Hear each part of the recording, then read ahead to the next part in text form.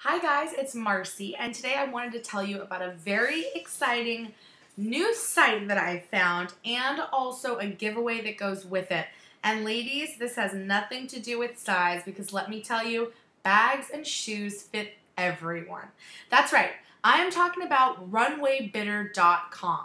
This is a new site invented by the fabulous Kathryn Eisman, a gorgeous Aussie, also television host, who has basically figured out a way to help fashionistas like you and I, everyday women that want every new shoe, every new bag, etc., be able to afford them. So she's got some sneaky tricks up her sleeve and a very hot network of connections that are helping you get the most fabulous brand new designer bags, Louis Vuittons, Louboutins, Chanel bags, Jimmy Choo, anything and everything in between on this site. So the way it works is that you buy bids. The bids are valued at 70 cents each.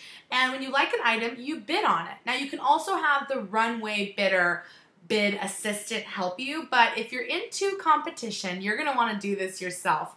There's definitely some, you know, tricks you can learn to navigate the site. So spending time on the site is important, but we are giving away 300 bids to one lucky winner out there. So, what I want to know is why you love designer. Are you just a label whore? Is it that you like the way it feels, the quality of the construction?